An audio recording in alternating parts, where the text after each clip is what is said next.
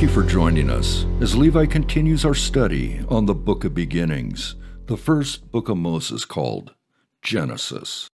Need to hear some things, so I'm gonna break this down for you guys. So we've been going through Genesis. We've been in Genesis since 2019. All right, so we're breaking it down verse by verse, precept by precept, book by book, this whole thing. Um, we're going to cover only verse 7 today. One verse.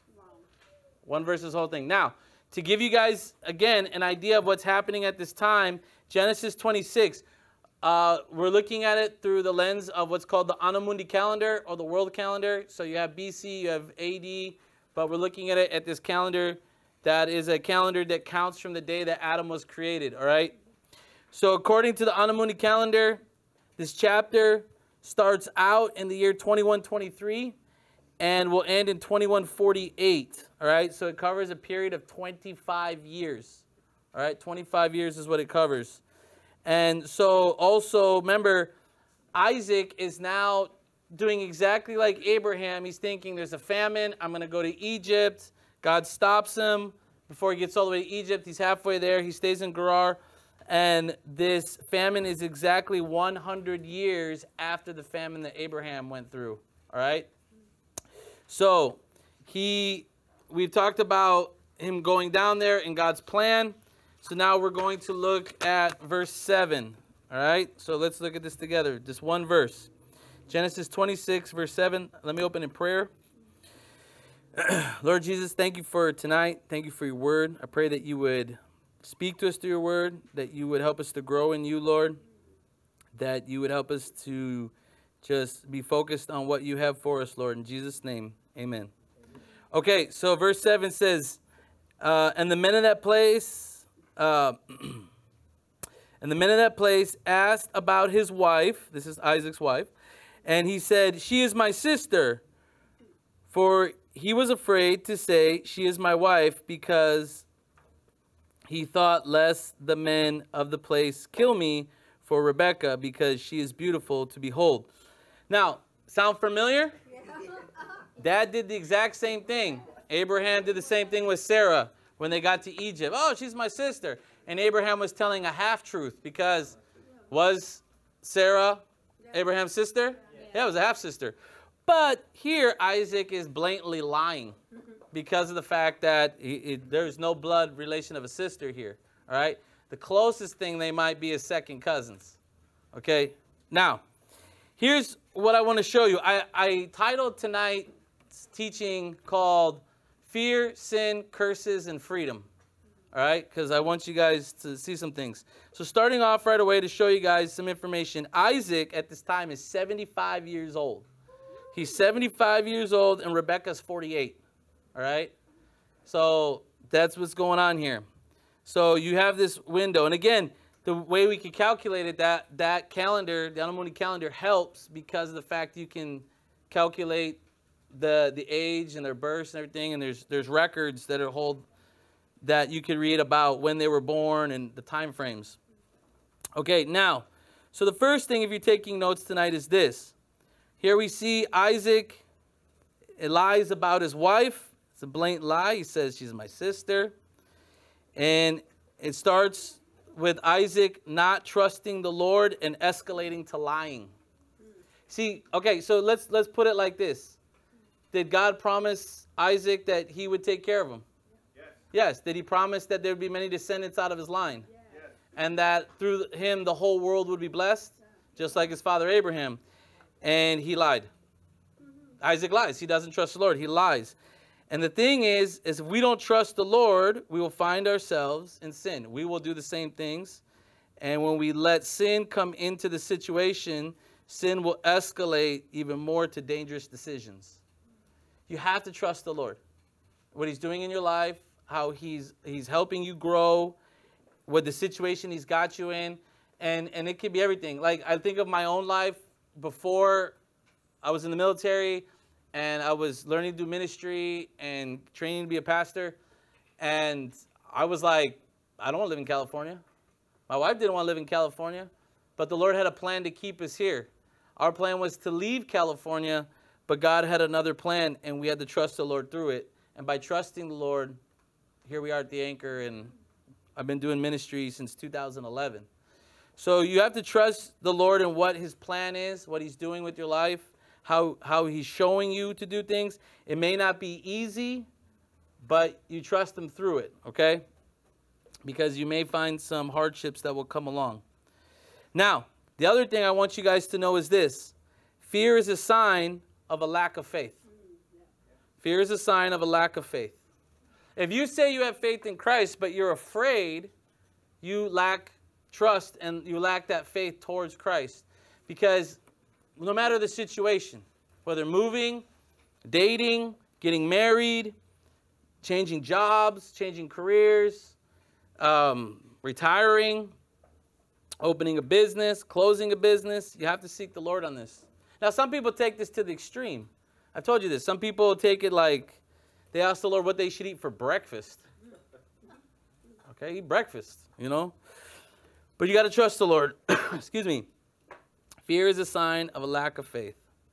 The second part about this is as a follower of Jesus, there are things we should not entertain.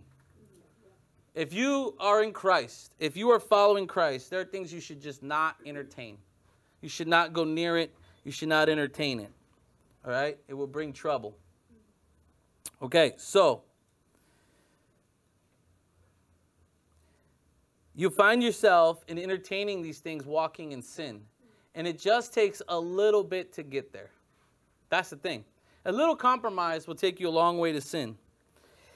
An example of this is if you know it's important to read the Word every day, to be in the Word every day, and you decide, I don't want to, or I can skip, or not this morning, and you compromise and you compromise, you'll find that all of a sudden weeks will go by and you won't be in the Word. It's almost like when you tell yourself, like, I need to go to the gym, and next you know, like, ah, I'll go tomorrow. Oh, I'll go tomorrow. Oh, I'll go tomorrow. Next you know, a month went by.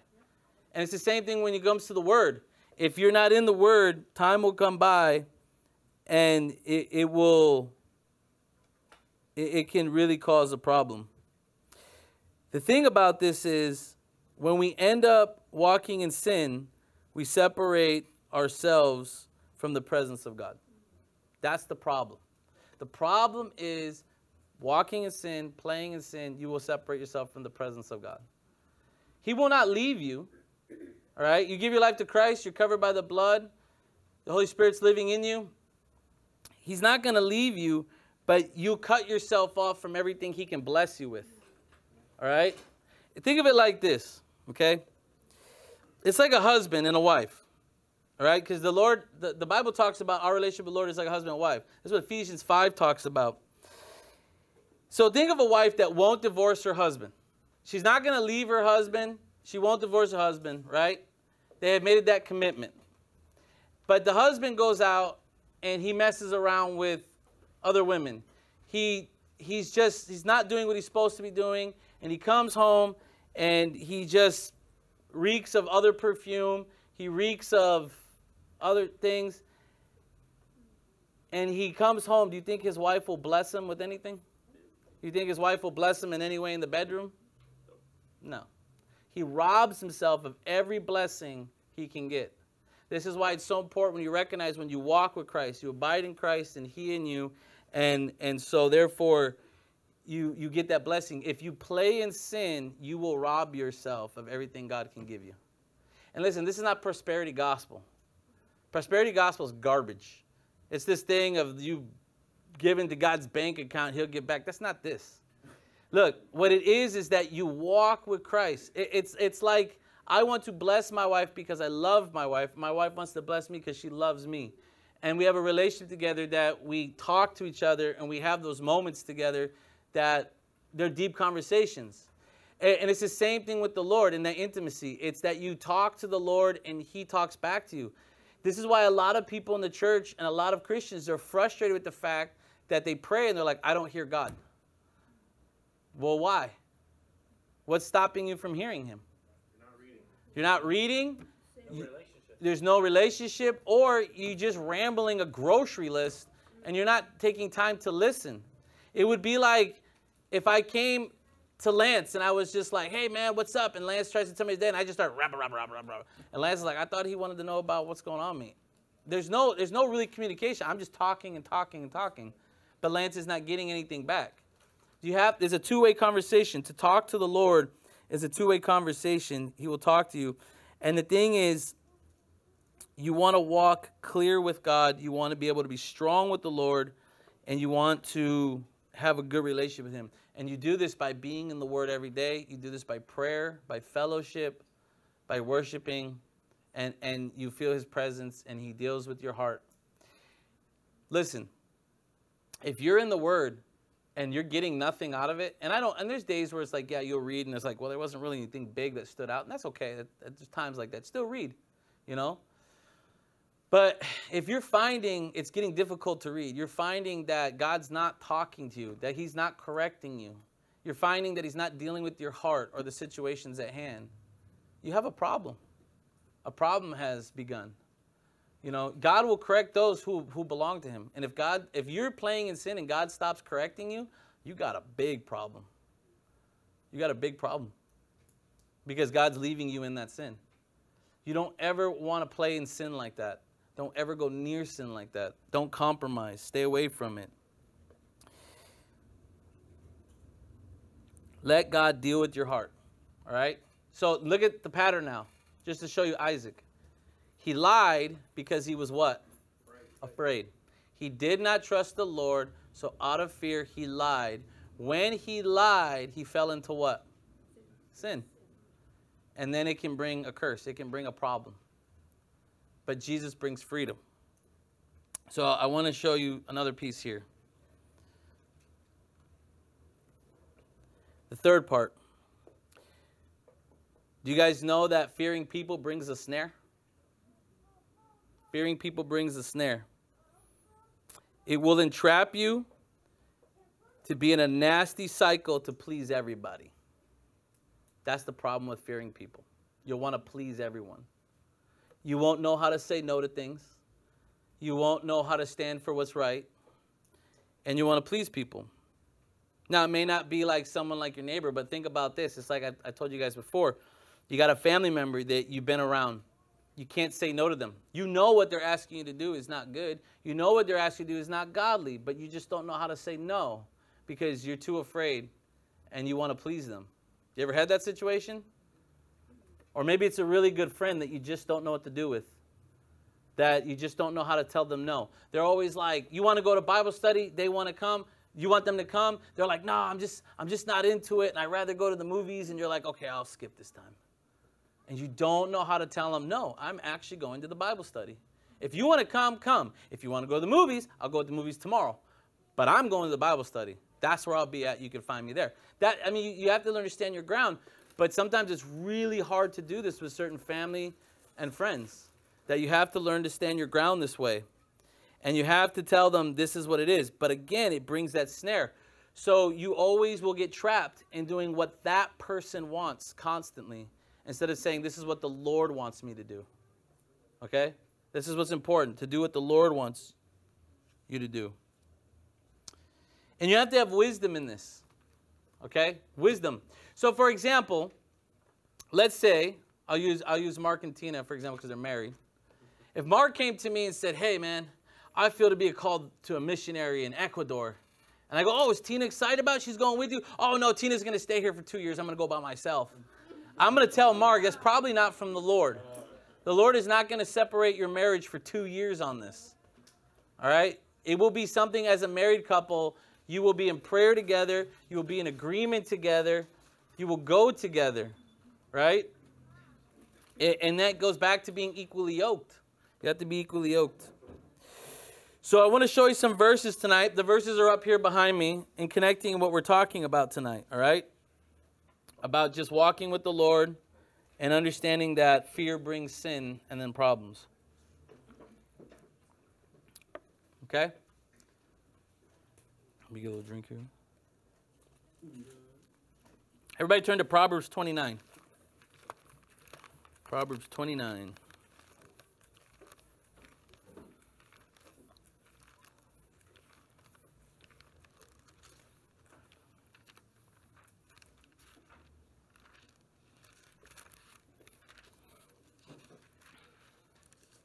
Proverbs 29, and we're going to look at verse 25. All right?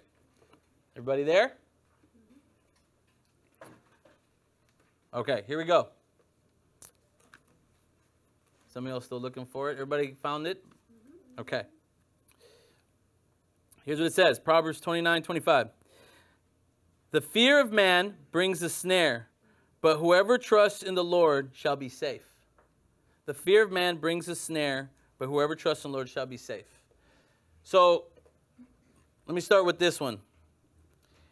Like I was explaining earlier, that snare can come in many forms. It can come in the form of compromising. It can come in the form of wanting to please them when you know it's not right. It can even come in the form of watching the media and getting so scared about what's going on in the world. You're constantly watching it, you're constantly freaking out. You're all like, what are we going to do? What are we going to do? What are we going to do? And it will bring a snare. But you have to trust in the Lord. And then it says, You shall be saved. So, what you have to factor is this no matter if it's major or small, trust the Lord in what He's doing, and you will find security. Will you find trials? Yes, but He will give you security through the trial. See, the thing about following Jesus is this He didn't say, Come follow me, and I'm going to make it perfect, and you'll never go through anything. He said that it would be difficult. Jesus said, If any man come after me, he must pick up his cross and follow me. He said to lose his life is to gain it, and to gain his life is to lose it. And what you need to realize is that that snare comes because you fear people. You fear the situation what people can do to you. And Jesus told us in the Gospels not to fear man who can kill the body, but to fear him who can both destroy body and soul in hell. You should fear God. You know, and, you know, maybe we've been through different trials. Maybe the biggest thing you've been through is a coworker that's giving you a hard time or a boss that's a real problem. But there are, you know, believers in Christ, there are fellow Christians that, man, they go through serious trials in the underground church overseas. They, they get tortured, they get arrested, they get separated from their family. I mean, in the Muslim countries, to become a Christian is an automatic death sentence. You know? And yet, here, we make it look like it's something else. And yet, over there, they know what it's going to come of it. Do not fear man. Trust the Lord. If you trust the Lord, you wouldn't be afraid. Do you know that? Do you know that perfect love casts out fear? And where fear is, there's torment. So why why do people get in the church, why do Christians who say they follow Jesus and have the Holy Spirit, why are they afraid? Why are they afraid? And look, I'm not talking like it's late at night, that's an alley, maybe I shouldn't go down it. It's not the wisest thing to do. That's different. Right? We're talking more of fear of like financial corruption or, or, or bankruptcy. We're talking fear of like what will happen to the kids. You have to trust the Lord. The, the Bible tells us our kids are arrows. We shoot them and we hope they hit the mark. Not literally shoot them. Don't shoot them, shoot them, right? Someone's going to misquote me on that. I went to the anchor and they said that I was supposed to shoot my children. No. Like they're arrows, right? You want to hit the mark. Did you know that to miss the mark when you're shooting arrows, you know what that's called? Sin. sin. To miss the mark means you sin. And so you want to train your child in the way to go so when they're an adult, they won't depart from it.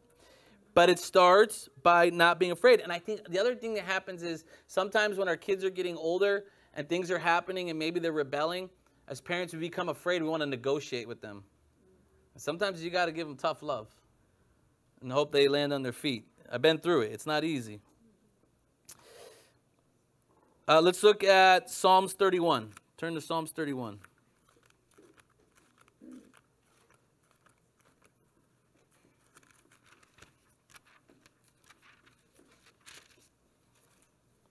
And we're going to look at the first three verses. Psalms 31. So just go back one book from Proverbs, the Psalms.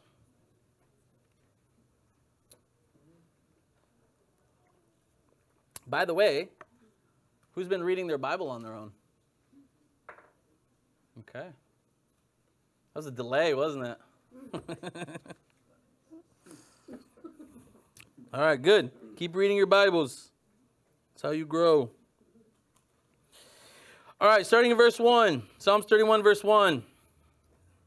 In you, O Lord, I will put my trust. Let me never be ashamed. Deliver me in your righteousness. Bow down your ear to me. Deliver me speedily.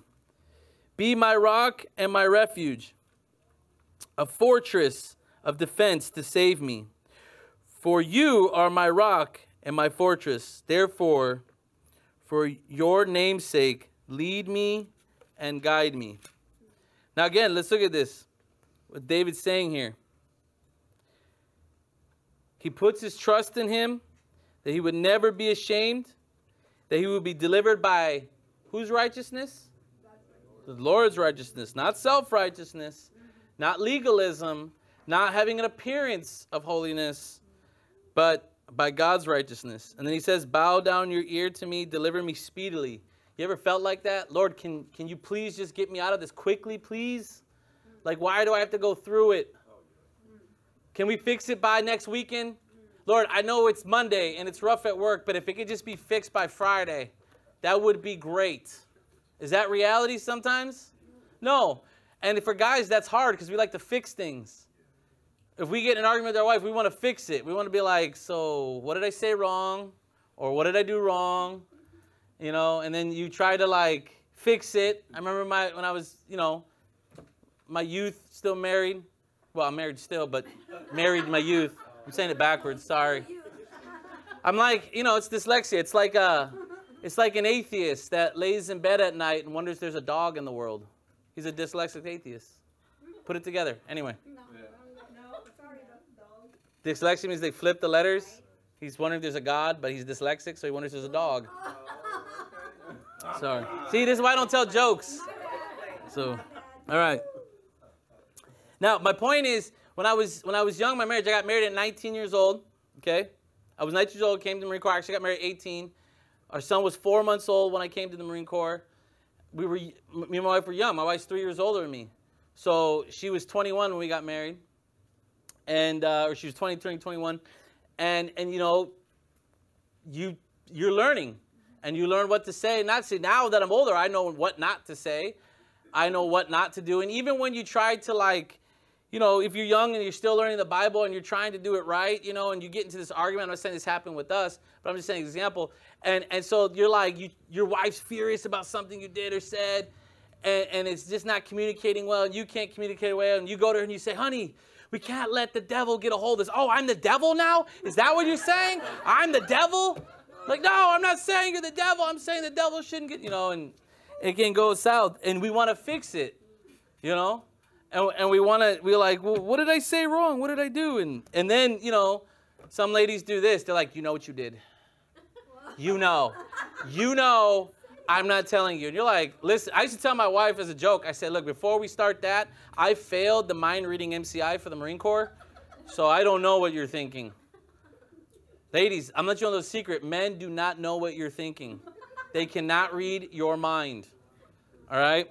Sometimes we do things wrong and we don't even know what we did wrong. And our mind is like, it's not a big deal. And for you, it's like, I can't believe it. And you're thinking, you're thinking like, did I, what did I do? And it, and it turns out it's something like you forgot the trash. Just tell him, hey, you forgot the trash, take the trash out, and then get over it. You really want to be mad for 24 hours about trash? It's not worth it. All right? Just get over it. Just as you get older, you learn this in marriage, and and the thing is, you you learn how to connect. And so, David here, he wants he wants the Lord to step in and, and help him immediately. Remember, David was being persecuted by by Saul, King Saul, and it wasn't good. He was having a hard time about it. It got so bad for David at one point, he went to the Philistines and he played cuckoo because he had nowhere else to go. And he went to their gate and he was drooling on himself and playing cuckoo. You can read it in Samuel. And and so they were like, oh, he lost his mind, and because he just didn't know what to do. He was always on the run, you know. Saul was always trying to kill him. One, at one moment, Saul would be normal, and the next minute, Saul's throwing a spear at him to kill him. That's, that's, you think your boss is bad? Try dealing with a boss like that. Where your boss is like, good job today. I really appreciate what you do. And then they try to shoot you. You know? It's not good. David goes on to say in verse 3 For you are my rock and my fortress.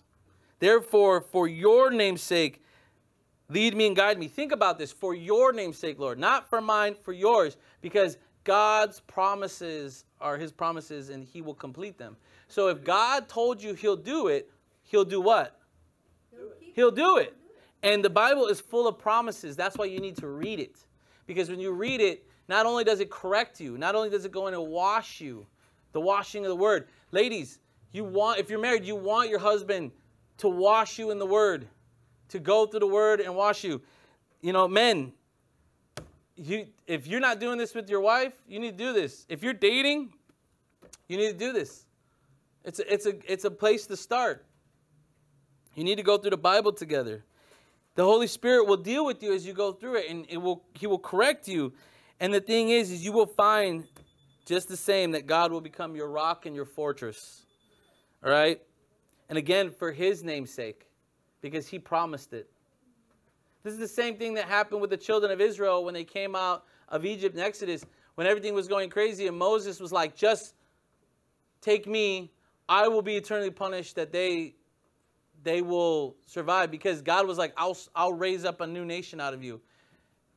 You know, he's testing Moses, but the reality is, is that it's for God's name's sake that he holds us, that he makes the promise to us. All right? And you know, there's groups that try to teach that, like, God doesn't want the Jews anymore or he replaced the Jews. That's not the case. There's a separation between the Jews and the church. God is still working with the Jewish community. He's going to bring them in, in in the last days in the Great Tribulation. But the thing you have to understand this, this is the danger in that mindset. Because if you believe God replaced Israel, how long before he replaces you then? That's the danger in that mindset. All right? It's called replacement theology. It's very dangerous. It's a very dangerous mindset. There is, there is, God loves both. And he says that God has grafted us in. We're the wild, the, the Gentiles, the wild branch grafted in. Okay? Now, let's go to Psalm 71.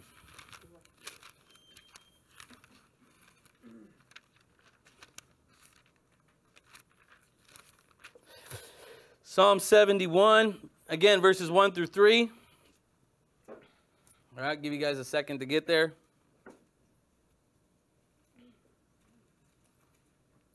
It says, In you, O Lord, I put my trust. Again, look what he's saying. David, I put my trust. Let me never be put to shame. Same thing being said as the other one. Deliver me in your righteousness and cause me to escape. Incline your ear to me and save me. Be my strong refuge, to which I may resort continually. You have given the commandment to save me. The commandment of God is what? It's a promise. He commands it, he'll do it. He's not, he's gonna, he's gonna make it happen. For you are my rock and my fortress. Is the same thing again in Psalm 71. He's talking about trusting the Lord. The Lord is his rock and his fortress. The Lord is holding him that nothing is going to move him from here, that he knows the commandment's going to save him. You ever have to deal with someone where you told them you're going to do it and they're like, hey, when are you going to do it? And they're like, I told you I'm going to do it. The frustrating thing can happen is if you deal with a person that says they'll do it and they never do it. And then they never do it and then they never do it. And then you're just kind of like, well, they don't really do this, so I'm going to move on. But God is not like this. God, when He says He's going to do it, He will do it. If He says He'll protect you, He'll protect you. If he says he'll provide for you, he'll provide for you. This is what you have to understand, ladies and gentlemen. God will always provide for you. So let's say you're praying, you're like, Lord, we need food. I need food. I, am I'm, I'm low on cash. I need food. I need groceries. Whether you have kids or you don't have kids, whatever it is, right? And then the Lord provides burgers and hot dogs for you at your house, right? Some of you are like, amen to that. But some people sometimes when they're praying about it, they're like, Lord, I meant like a steak dinner. Sometimes it's not what, what you think it is. Lord, I need transportation. I need a car. So he gives you a 2003 Chevy Malibu. And you're like, no, Lord, I meant like a 2018, a 2022, a hybrid, electric car. because you don't need it. He knows you don't need it. He will give you exactly what you need because he knows your character and how you're going to think and how you're going to function. You ever ask this question to yourself? Why does this individual seem to do well financially? I'm not talking about being super rich. They do well financially. And I struggle. You ever ask that? And then you go to some groups and they're like, it's because you're not giving to the church and you're being punished. Is that the case? No. That's not the case at all. Here's the thing. I used, I used to I used to wonder that sometimes. But then I think about what James says. You ask amiss because you ask because you lust for pleasure. In other words, sometimes the Lord knows if I give you this amount of money, you're not going to use it like you're supposed to. You're not going to provide for your family, and you're not going to see the needs in the church and help people or the needs when someone's hungry. You're just going to go blow it on garbage or alcohol or stupidity or sin. And that's why sometimes it's held at a halt. The other times it can be is because the Lord's saying, You don't fully trust me. I want you to know what it's like to trust me. When I learned to trust the Lord, I learned He was faithful through and through. I learned that He provided through and through. You know, I remember moving out to Escondido. We were doing a military ministry here, it was growing. Uh, we were looking for a place at the time. I was getting out of Wounded Warriors. And the, the base was doing this thing where if you were like retiring out of Wounded Warriors, you can live on base still. You could be out of the Marine Corps. You could just pay rent and you could live. And we are like, man, that would be perfect. Like we could stay right here. We don't have to move. The ministry's right here because we work on base, everything. And and one minute they would be like, yeah, yeah, and then they go, no. Then like, yeah, it's gonna work. No. And they would just constantly, yes, no, yes, no. And finally we were like, man, we gotta find a place to live. So we started going around looking from house to house here, what to rent. We couldn't find anything in Oceanside. And, you know, and I'm thinking in my mind, I'm like, we got to find Oceanside area. Carlsbad's too expensive to rent because I, I had a staff sergeant that I knew, uh, friend, that he rented over there. The guy had like a one bedroom apartment, was paying $3,000. And I'm like, yo, I can't afford, no, $3,000 for one bedroom. It's just him and his dog in a one bedroom paying 3000 and I was like, no way. So we're looking around Oceanside. We're trying to figure it out. We're looking at houses. Nothing's happening. Nothing's happening. And finally, we we go to see this house, you know, and and the lady who's showing the house is really she's a Christian, and she she finds out what I do, and she's like, hey, I got this showing in Escondido at this house. I want you to come check it out. It might be what you need. And I said, okay, I'll go check it out. And you got to understand, before I, lived in Escondido, driving to Escondido was like, that's the other side of the world, you know? it felt far away. Like we used to joke because we'd go to Vallarta's and I'd be like, that's that's way over there in Escondido. And now it's like hop, skip, and a jump, you know? And so here's what happened. We go to look at this house and we're looking at it, and right away I felt the Holy Spirit go, This is for you. And I was struggling. It was I was struggling. I was having a Gideon moment. And even though I felt clearly the Lord said this for you, I was like, Lord, if this is really for me, the rent's got to come down to this amount. She's got to be willing to take all three dogs, the lady who owned the house. And and I forget what the third thing was. What was the third thing? It was the dogs, the rent, and something else.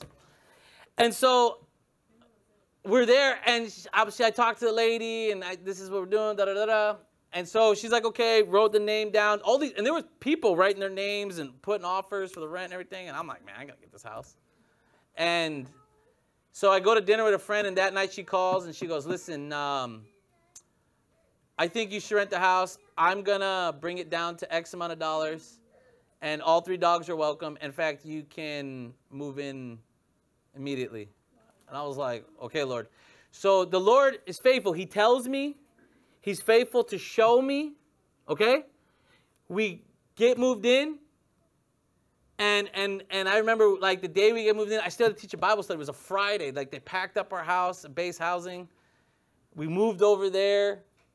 I'm still in the Marine Corps, but I'm still teaching a Bible study. I'm like at the very end of everything. And, and the enemy came in, man, all of a sudden they went from like, oh man, man, like you do your internship, da da da, it's really cool, to like, we need you here every day. And like, dude, I'm like, you gotta be kidding me. My kids are in elementary school over there, and I just, I got one of the worst senior staffs that all of a sudden just, I don't know what his deal was, and he was just making life crazy for me.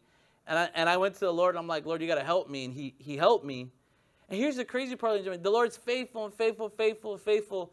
And I still remember sitting at the dinner table and I started crying and I'm like, Lord, how am I supposed to do the ministry? It's so far away. This doesn't make sense. Why did you bring me to Escondido when everything's happening on the base? I don't get it. Why would you take me the opposite direction that I'm, I'm thinking in my mind I'm supposed to go? This doesn't make sense. Everything's happening on Camp Pendleton, and you take me to Escondido. And I was so frustrated. It made no sense until the Lord opened the door for San Diego Christian College and I met Ruben Calderon. And all of a sudden, Ruben was a combat vet that was in the army, living in Escondido. We hit it off. We started carpooling. And the Lord took what I thought the ministry should be at a Camp Pendleton and expanded it out to North County and to North San Diego. He had a bigger plan. But in my mind, I was like, Lord, it doesn't make any sense. I couldn't see it, but the Lord knew. And you know, the Lord is faithful in the whole thing. He's gentle, like a dad that gets it because he's like, I told you. And I still was like, ah, I showed you. Ah. And even like in my frustration. And then on top of all this, ladies and gentlemen, we're in the house, we're there. I'm working here. We're doing the ministry, we're getting it all rolling. And then I'm noticing, man, rent's coming up and the money's getting short fast. And I was like, God, I don't know what to do. I, I, we need to pay the rent. We need to pay the rent. We need to pay the rent. And God loves to show up and do miracles. And rent's in five days. Rent's in four days. Rent's in three days. Rent's in two days. Rent's due mañana. 11:30 p.m. Here's a check for the rent. I was like, okay, God, I trust you. I get it. I will follow you. 100%. That was me going to Escondido. So,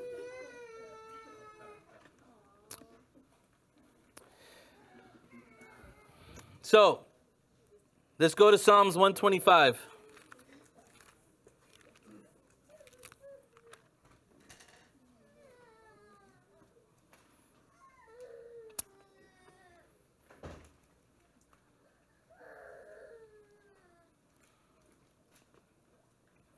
All right, verses 1 and 2. Those who trust in the Lord are like Mount Zion, which cannot be moved but abides forever. As the mountains surround Jerusalem, so the Lord surrounds his people from this time forth and forever. This is an amazing verse. Think about this. All right? Those who trust in the Lord are like Mount Zion. What is Mount Zion? Holy what holy mountain? It's in the midst of Jerusalem. But what is it? It's God's holy mountain. It's his holy mountain, okay? And it says that they will not be moved. They cannot be moved. It abides forever. As the mountains surround Jerusalem, so the Lord surrounds his people. Do you understand that God surrounds you like that? He will not leave you, he will not forsake you. If you're in Christ, you have given your life to Jesus, you have asked him to come in your life, you are free and he will surround you. If you play in sin, you won't feel his presence. But if you follow him and abide in him, you'll feel him there. You'll know he's there. He will not leave you even if you mess up because his grace is abundant. What you'll learn is I don't want to play in this sin anymore. I hate this sin. I don't want to be near this sin. I want to do something else. I want to be close to Jesus. So, here's the thing when you put your trust in the Lord, he will protect you. He will surround you, and he will be your fortress.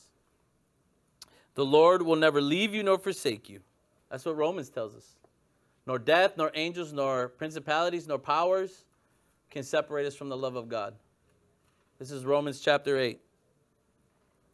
He will be with you. He will never leave you nor forsake you. But you have to trust in the Lord. You have to teach your children the same. If you have children, teach them to trust the Lord. You don't have kids, but you got little nieces and nephews, teach them to trust the Lord. Teach your little brother, your little sister, whoever is that the Lord has put you in front of to trust the Lord. And there's two ways you can do it. You can verbally talk to them through it, and you, you can live it, and they can watch it. Now, depending on their age, there's lots of ways to go about it. There's Superbook. For, for Superbook works for, for full-grown Marines. I've had Marines sit back there and watch Superbook and learn from it. You know? And yet, Isaiah's four years old and he can tell you the stories that come out of Superbook from listening to it. So whether you're four years old or 40 years old, you can learn from Superbook. All right? You're never too old to learn from it. It's the Bible done really well. You know, it's kind of like when the Bible miniseries came out. You remember that years ago? I think it was like 2000, I want to say six, not even 16, 2013. It was like back in the day. It was almost 10 years ago. The Bible mini series came out, and I remember we watched it. I was curious about how they would do the whole Bible, and I remember sitting with pastors, and they were like, I didn't really like it. It wasn't that good. And I was like, well, the book's better. the book is always better. So, listen, you have to trust the Lord. Teach your children to trust the Lord. Okay? See, the thing is, Isaac, he did just like his father did a hundred years before him.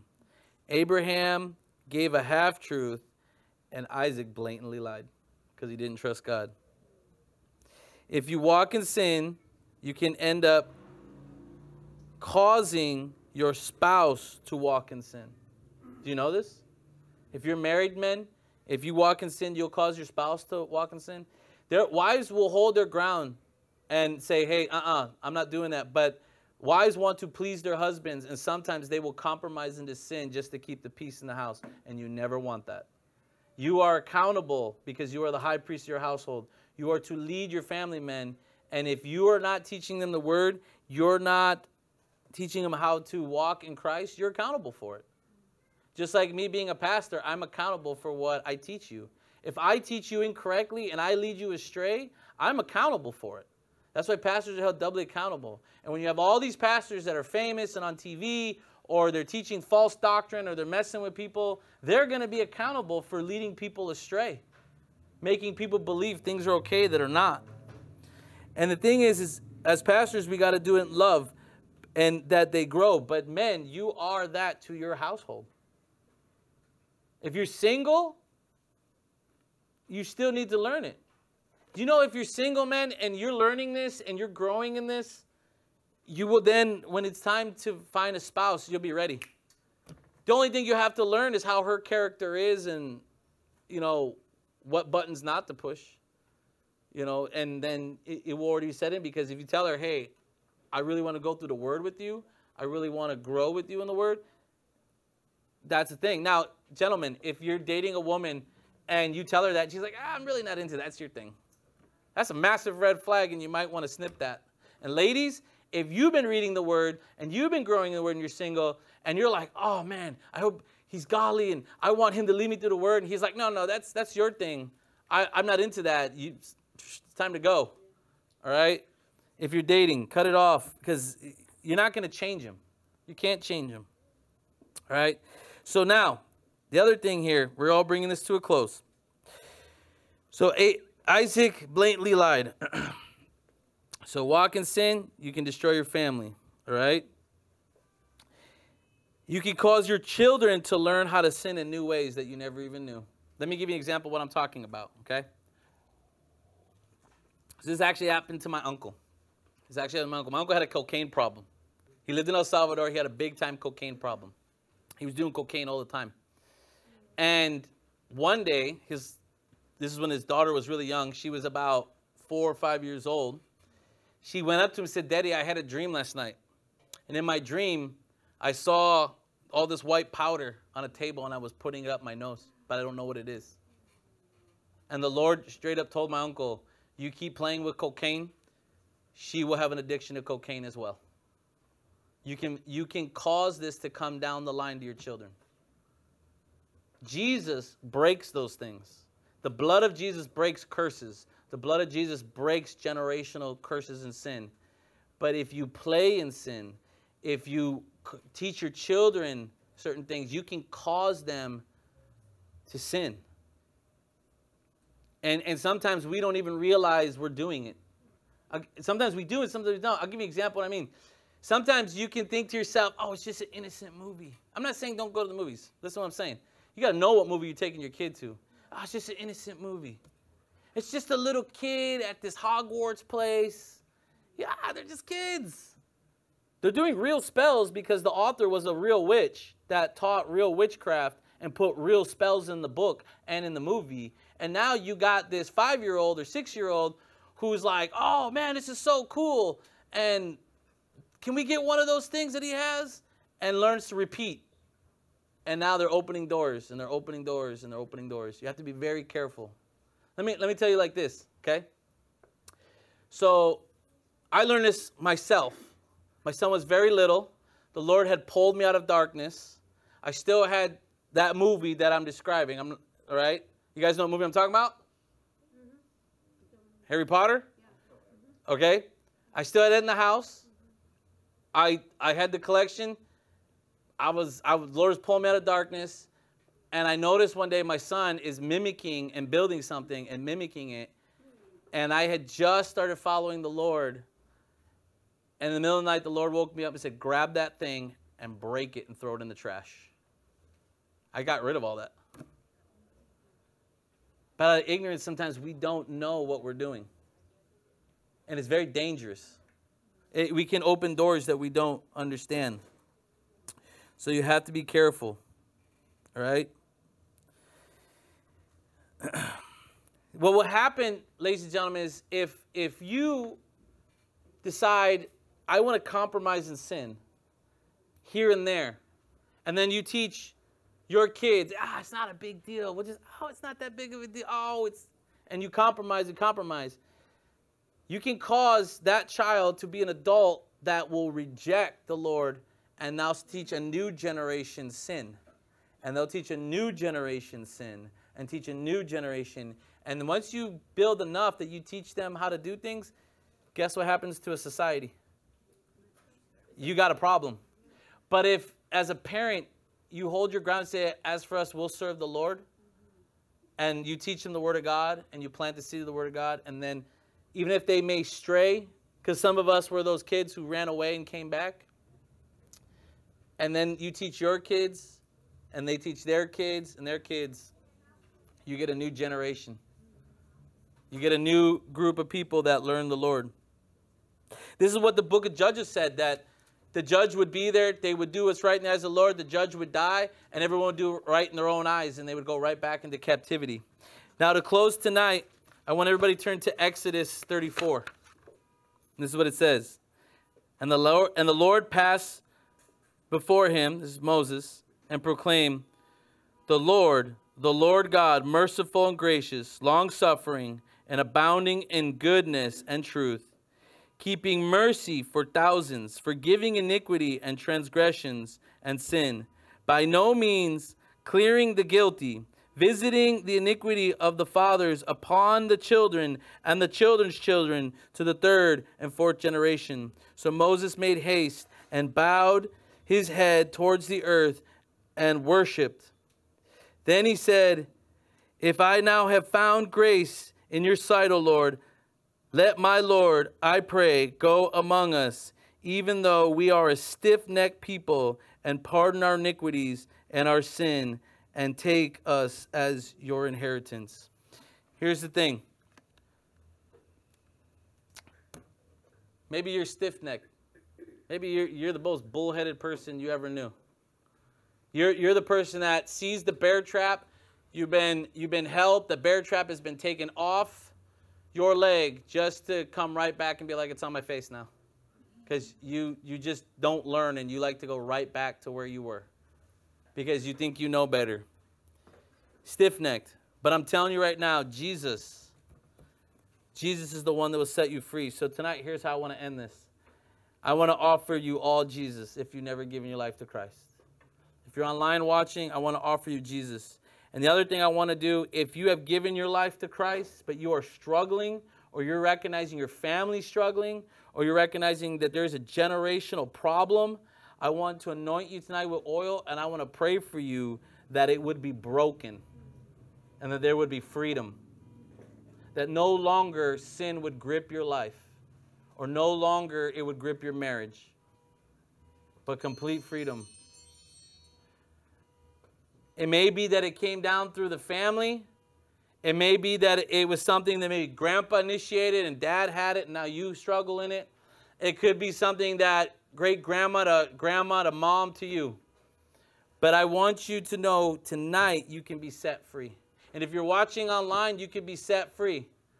You just have to ask the Lord to set you free. But I want to pray for you that you would be set free. So, before we close, I recognize every face here, pretty much. And I know how you guys walk with Christ. But if you've never given your life to Christ, if you're online watching, you never give your life to Christ, tonight's the night to do it. The Bible says tomorrow's not promised to you. And tonight's the night to get right. So if you're online, here's what I want you to do. I want you, if you're watching, I want you to type in and say, I want to give my life to Christ. If you're listening to this later, this recording, then this is all you have to do is pray and ask the Lord to come in your life. So here's what I'm going to do. I'm going to lead you in this prayer for those who are online or in this room that want to give their lives to Jesus. You pray from your heart. The ground's not going to open up. The sky's not going to open up. This is not some magical thing that you say. This is between you and the Lord and making it right. Excuse me. And then, if you're like, believe I gave my life to Christ, I just been struggling, then I want to pray that you're free. I want to pray that you find real freedom in Jesus. So, for those tonight who want to give their lives to Christ, who are listening online, pray this prayer. It goes like this Lord Jesus, I know that I'm a sinner and I need a Savior. I'm asking you to come into my life. Forgive me of all my sins. Fill me with your Holy Spirit, and I will live for you. In Jesus' name, amen. If you're watching online and you've done that, and I want you to reach out to us. I want to get a Bible in your hand. I want to get you plugged in because we have people watching from all over. If you're listening to this recording and it's and and David's already posted it, write in. Go to our website, write in say, "Hey, I was listening to that and I gave my life to Christ." I would love to hear that. Because it says all heaven rejoice when, when one sinner is redeemed, when the Lord gets a hold of one. They, they go, wow, there's a party in heaven. They're like, woo, right? But tonight, if you're dealing with brokenness, you're dealing with, you're trapped, or you feel like, man, I can't be break free of this sin, or man, I, I, I watched my dad go through this and now I'm going through it, or I watch my family go through this. I don't care if it's drugs, alcohol, pornography, hatred. I want you to be free tonight. All right, so let me pray for you guys. Lord Jesus, I pray right now in the name of Jesus for those who have been struggling, for those who just feel like they can't overcome certain sins, that they feel like there's just been this generational thing that's followed them. Lord, even for those who, who tell themselves, I'll never do this again, just to do it again the next day. Lord, I pray right now in the name of Jesus that you would set them free, that we plead the blood of Jesus over their life. And we pray for a fresh anointing of the Holy Spirit to move upon their life and to break every chain, Lord God, that, that the, any addiction of drugs, alcohol, pornography, whatever it is, be broken in the name of Jesus. We pray right now that if there's any demonic things that have come down the line from the family, anything that has, any family member that has had any family members in the occult, that that would be broken in the name of Jesus. And Lord, we pray for their kids. So if there's anyone here tonight that they're just struggling, that their kids are having a hard time, Lord God, we pray that you would keep your hand upon those children that you would set them free and that they would come to know you in a very real way. And Lord God, if there's anyone here tonight that has a prodigal, whether they're online or in here, or they just their son has been or daughter has been running from the Lord, I pray that you would draw them in, that you would set them free, and you would heal them. Lord, I pray right now, Lord, for healing physically and mentally and emotionally for those who need it. And Lord, I just pray, Lord God, that you would just move in power upon each person, that they would walk in your word, abide in your word, and Lord God, that they would know you more and more. I pray for the marriages here tonight, that the husbands would lead their wives, they would wash their wives in the word. I pray that you would heal anything, Lord God, that has hindered the marriage, that has caused emotional damage in the marriage. But Lord, I pray right now that you would just keep these marriages strong in your name. And Lord, I pray for anyone watching online tonight that you would just help them, Lord. I pray for any of the kids that are sick. Lord God, that you would heal them, that you would help in any stomach issues, Lord God. And I just pray, Lord God, right now that they would just have freedom, Lord. And I pray for the brokenhearted and the lonely, Lord God, that you would heal them and that they would come to know their value in you and how much you love them, Lord. In Jesus' name, amen. Okay, so at this point, are there any questions online or in the room about what we discussed? Yes. Uh, And I will repeat it for those who are online so they can hear it. okay, so my question has to do with fear and anxiety. Fear and anxiety, yes. Uh, the parallelness, wh- wh- like let's let's get to like what what is the difference between fear and anxiety? Because like uh, the thing is like sometimes like something doesn't have to happen for the anxiety to like just just feel like it's just happening. You know what I mean? Like is that related to fear? Yes, so anxiety can be brought on by fear, and anxiety can be an emotional or physical reaction to the fear. But the Bible tells us in Timothy that God has not given us a spirit of fear, but of, of uh, love, courage, and a sound mind. And perfect love, perfect love casts out fear. So anxiety can be brought upon it, and you just have to know that God's love and the Holy Spirit gives you the power to overcome that anxiety and fear. And I have another question. Yes. My other question has to do with the context of the Hebrew terminology for heart, because in America, what I've came, me and my wife discussed this yesterday. Uh, we were talking about like how how do we interpret heart, and we just strictly go with feelings. Mhm. But we came to, to the idea of like, you know, we looked into it, and in the Hebrew way, It's called it's. Well, okay, so the heart in Hebrew is called leb, right? Leb. And so with emotions and feelings, emotions can deceive. People people say things like, "Well, if it feels good, it can't be that bad." Right. But that's not true. And so sometimes there's that illusion and a lot of sometimes churches get into what's called emotionalism where they get everybody worked up and then, you know, and then they they get something out of it. But the the the Hebrew word about the heart leb means what controls the inside or the house inside. In other words, The whole inside. like what Jesus said, it's what comes out of the mouth Yeah. that reveals what's in the heart, right? Right. So when the Lord deals with your heart, yes, we have our physical heart that pumps, but when He deals with you in your internal person, your spirit, Right. you change the way you think, and then you react different. Your character change, and you reflect Jesus. Right, and that's what I was saying. I was thinking like it's the whole package. It's your thinking too. Yes, You're it changes. Say something you're not thinking. Correct. It changes your thinking. It changes however how you are, but it's the internal thing that's being transformed. Yeah. So- what we've been on, and we, we've been Yep. we've been finally getting it. And it's like Any questions online, Joseph? Can you check? Uh, I checked again. Uh, so, any other questions? No? Okay. So, if we have none online and none in here, um, be blessed. Have a great weekend. I think there's leftover food. And, um, and I'll answer any questions on the side. And if you need more prayer, let me know. Okay? Have a blessed weekend.